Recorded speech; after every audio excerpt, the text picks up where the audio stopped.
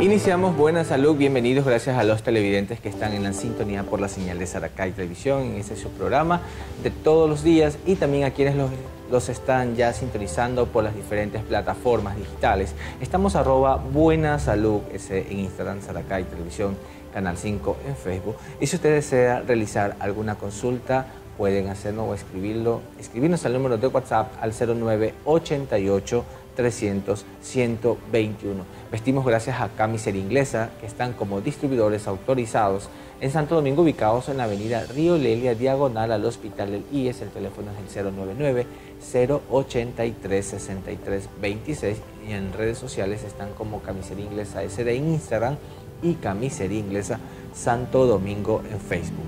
Ya saben que la moda y estilo lo tiene Camisería Inglesa. Visítelos, que tienen las mejores prendas para hombres niños y jóvenes. En nuestro programa de hoy nos visita nuestra querida doctora Joana Arias. Ella es médico pediatra, viene de la clínica Max Medical y el tema que vamos a tratar en esta mañana es importancia de las subespecialidades en pediatría. Bienvenida doctora, gracias por estar con nosotros. Buenos días Gabriel, gracias por la invitación y es un gusto para mí estar aquí y hablar estos importantes temas para nuestros pequeños. Y sobre todo la parte eh, pediátrica, siempre los niños que son, yo siempre digo, es lo más vulnerable dentro de un hogar, dentro de, cualquier entorno. Y sin embargo son quienes a veces no pueden dar respuesta cuando tienen alguna molestia, cuando tienen algún problema, cuando ellos se sienten mal. En todo caso, al hablar nosotros de estas subespecialidades, porque no es, no es lo mismo que yo tenga un hijo, tenga un pequeño en casa y y llevarlo a un médico que tal vez no es el, especialista como tal para que nos pueda direccionar o nos pueda guiar y decir, bueno, ¿qué está sucediendo aquí? ¿Por qué hay que tomar en consideración estas subespecialidades al momento que nosotros necesitamos llevar a un niño a, hacer eh, un chequeo médico?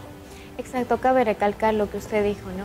Que un niño no es como un adulto pequeño, que muchas veces lo pensamos o así lo decimos un niño tiene características tanto anatómicas, fisiológicas y de desarrollo que es muy diferente al adulto. Es por ello que necesitamos de estas subespecialidades. Obviamente que el pediatra va a ser su, como decir, su médico de cabecera, su médico de base, pero es el pediatra que después de las valoraciones, del examen físico, de los exámenes, es quien deriva o refiere a las diferentes subespecialidades.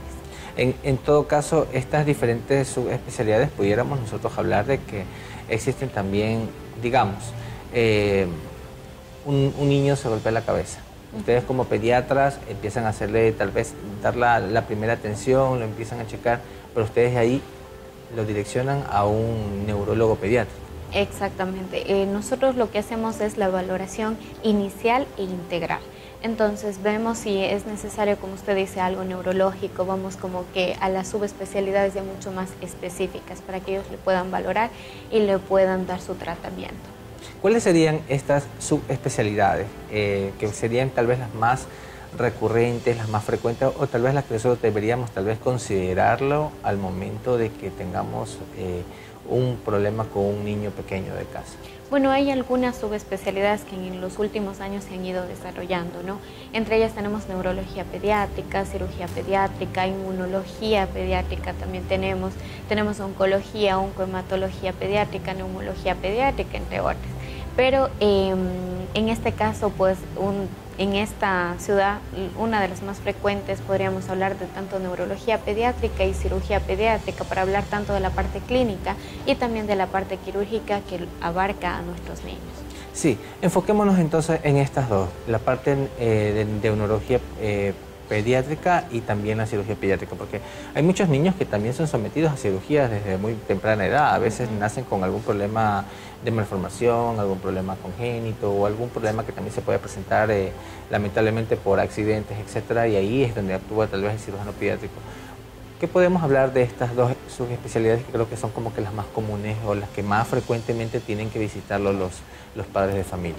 Bueno, en primera instancia, tanto neurología como cirugía pediátrica ya van a tener una formación académica mucho más eh, completa, mucho más integral. Cabe recalcar que en nuestro país, para que lleguen a ser neurólogos pediátricos o tener esta subespecialidad de cirugía pediátrica, deben ser primero pediatras. Entonces ya tienen, como decir, la base integral y de ahí hacen la subespecialidad. En el caso de neurología pediátrica es una rama que va a haber tanto patologías del sistema nervioso central, de la columna, los músculos y la parte nerviosa. Todas esas estructuras es lo que abarca, ¿no? Entonces, entre las enfermedades que puede ver es, por decirle, la cefalea que usted comentaba, las migrañas, eh, son subespecialistas que ven eh, lo que es las crisis convulsivas, epilepsias, también tenemos trastornos del neurodesarrollo, trastornos de la conducta, hemos hablado mucho de lo que es el espectro de déficit de atención e hiperactividad y también obviamente alteraciones en cuanto a la conducción o alteraciones nerviosas. Como usted lo dijo también, malformaciones congénitas nos ayuda también neurología pediátrica, no solo nos ayuda desde el momento de ya el diagnóstico, sino incluso en el diagnóstico prenatal ya podemos, eh, como decir, tomar pauta para que en el momento del parto o en el momento del nacimiento del niño no solo esté un pediatra, no solo esté un neonatólogo, sino también ya esté un neurólogo pediátrico que nos pueda guiar en cuanto al tratamiento y así evitamos muchas complicaciones y mejoramos el pronóstico de los niños. Y en todo caso, es lo que usted acaba de decir, desde que están en, estado de gestación las madres, que son, ahorita la, ciencia ha avanzado tanto que ya una, madre embarazada que, esté con, que venga con un bebé y de pronto con algún tipo de problema, ya se puede ir actuando desde que está en matriz el bebé y probablemente, como usted acaba de comentarnos, cuando ya viene el momento del parto, va a encontrarse el, especial, son especialistas en el área de pediatría para poder recibir tal vez a este bebé y poder dar tratamiento de manera oportuna e inmediata para que obviamente estos niños eh, gocen de mejor salud en, su momento. Doctora, al regresar de la pausa, me gustaría que usted nos comente un poco también sobre las, las diferentes cirugías pediátricas que los padres deberíamos deberíamos, digo yo como si fuera padre, los padres deberían considerar cuando, cuando ya están de pronto con su, con su bebé ya físico, en qué edad se puede considerar también un niño eh, en, que tengan que visitar al pediatra, porque no sabemos tal vez qué rango es el, el, adecuado y tal vez cuando ya tiene que empezar con un adulto, como niño adulto, se lo puede considerar o joven más o menos se entiende eso. Bueno, vamos a ver esto. Al regresar de la pausa, no le cambie, sigan por la señal de Saracay. Importancia de las subespecialidades en cirugía pediátrica es el tema que estamos tratando en Buena Salud con nuestra querida doctora Giovanna Arias. Doctora, eh, ahora sí nos puede comentar un poco sobre las diferentes eh, cirugías que pueden existir cuando, cuando ya el bebé está, está físico con... Eh, y que de pronto tiene algún tipo de problema. ¿Cuáles son esas cirugías que una persona de pronto debe contemplar o el padre de familia? Y, y hasta qué edad se considera a un niño que debe visitar a su pediatra? Eh, bueno, eh, existen algunas cirugías, entre ellas, como hablábamos, de malformaciones congénitas, ¿no? Por decirle, es importante que el cirujano pediátrico ya sepa de estas malformaciones, como decimos, de un diagnóstico incluso prenatal, para que esté ahí presente y pueda hacer una intervención oportuna. Pero como usted lo dice, hay eh, criterios que se van generando en el desarrollo del niño. Entre ellos tenemos, por ejemplo, la fimosis, eh, la presencia de adherencias eh, prepuciales, lo que es la criptorquidia o más conocido como el no descenso de los testículos. También tenemos algunas cirugías emergentes como por ejemplo la apendicitis, eh, la colelitiasis. Entonces son eh, patologías que tienen que ser vistas por un cirujano pediátrico. Como les vuelvo y les repito, desde el principio eh, tiene que ser visto por el pediatra, lo refiere y él lo valora y puede hacer la intervención quirúrgica. ¿Hasta qué edad nosotros consideramos pediatría? Generalmente es hasta los 15 años, ¿no? lo consideramos y tiene que ser visto por él. Ahora, ¿por qué tiene que ser eh, operado por un cirujano pediátrico y no puede ser por un cirujano general? Desde lo que es el abordaje del niño, el cirujano pediátrico ya está capacitado para llegar al niño, para hacerle las preguntas, para hacerle el examen físico. No todo niño se va a dejar valorar, no todo niño con dolor le va a permitir que usted le palpe, que usted le, le hable o que incluso que esté presente. Entonces esa es la formación mucho más especializada que tiene el cirujano pediátrico para poderle abordar de forma integral a nuestros niños. Y esto sobre todo eh, da más confianza también, yo creo yo, para cualquier padre de, familia que tenga un hijo que, se encuentre con alguna situación como la que acaba de usted de comentar y que probablemente dice, no, yo te, estoy, me está dando la seguridad de que es un pediatra, un médico pediatra especialista en, en, el área y que probablemente va a darnos eh, un buen diagnóstico y va, como usted dice, a atender de una manera adecuada, porque es, verdad, no es lo mismo tal vez un médico que tiene la misma especialidad para tratar adultos que un médico que es pediatra. En, todo caso, ustedes tienen otro tipo de formación para llegar a estos niños y que puedan tener ese, ese contacto y que probablemente ellos también puedan dejarse atender de, la mejor manera. Doctora, ¿qué aconsejaría usted a las personas que ven el programa y que probablemente tienen niños que, que tienen diferentes tipos de problemas? Porque los niños son tan vulnerables que a veces no, no están indicando me duele aquí, me duele allá. Sin embargo, ustedes como pediatras siempre están a la, a la par como médicos de cabecera, pero si existen estos problemas o estos antecedentes que, que probablemente a veces, lamentablemente a veces la parte pública hay que esperar o están en, en cola también, están en cola eh, para, una, para una revisión más profunda o para algún chequeo más profundo o probablemente para una cirugía. ¿Qué les puede usted decir a quienes están viendo el programa de cómo pueden tal vez acudir a la parte privada si es que no hay, no, no hay respuesta por esta área?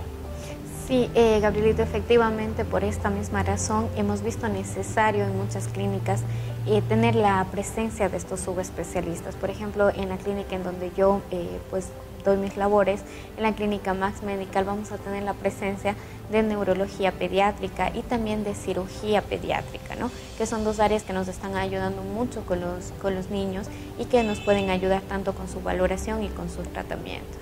Esta, esta, este tipo de cirugía obviamente siempre ustedes la van a direccionar, o sea, yo, yo necesito una atención, primero es con el pediatra y luego el pediatra va a la subespecialidad. Exactamente, sí, eh, nosotros le valoramos de, manera integral, lo vemos, muchas veces eh, incluso hacemos como que la valoración conjunta, ¿no? Tanto el pediatra como el cirujano pediátrico lo hacemos entre los dos, porque cabe recalcar que, digamos, el cirujano lo opera, ¿no?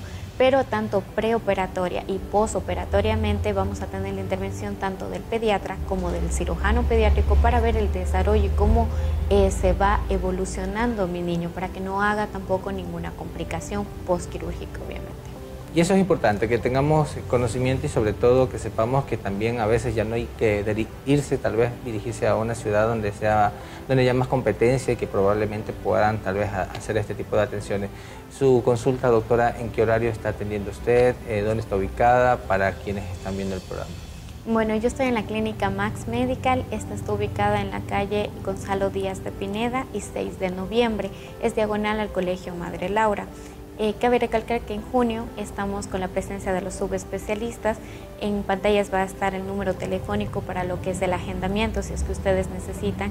Si sus pequeños necesitan tanto valoración por neurología o cirugía pediátrica, por favor, agenden la cita para poderles eh, recibir y estaremos gustosos de ayudarles en todas las atenciones. Así es, y de verdad doctora, que para nosotros es un gusto tenerla aquí en nuestro programa y sobre todo hablar con la persona idónea, en, este caso la especialista, para, para, que nos pueda dirigir y nos pueda también este, usted guiar más que todo. A, quienes son padres, pues ya saben que Clínica Max Medical está en las subespecialidades y también en el área de pediatría. Muchas gracias, mi querida doctora, por estar con nosotros. Gracias a usted, Gabrielito, por la invitación. Y a los televidentes que ven Buena Salud, solamente quiero decirles que si usted se perdió el programa, puede escribirnos al número de WhatsApp primero para cualquier sugerencia al 0988 300 121 y seguirnos en las diferentes plataformas digitales. Estamos arroba Buena Salud S en Instagram, Saracay Televisión, Canal 5 en Facebook. En YouTube nos encuentran como Saracay TV. Y si usted desea vernos online, digite www.saracaytv.com. Así que en cualquier situación, en cualquier lugar donde se encuentre, pueden ver Buena Salud y toda la programación de Saracay. Antes de despedirnos, quiero hacerles mención que si van por la avenida Río Lelia, visiten Camisería Inglesa, que gracias a ellos vestimos el día de hoy. Están ubicados diagonal al Hospital del IES y en sus redes sociales están allí, que están como Camisería Inglesa SD en Instagram y Camisería Inglesa Santo Domingo en Facebook. En WhatsApp lo encuentran con el número 099-083-6326. Visiten Camisería Inglesa que tiene las mejores ropas y la mejor marca. Nos despedimos, los dejo con la mejor compañía. Sigan con la señal de Saracay Televisión.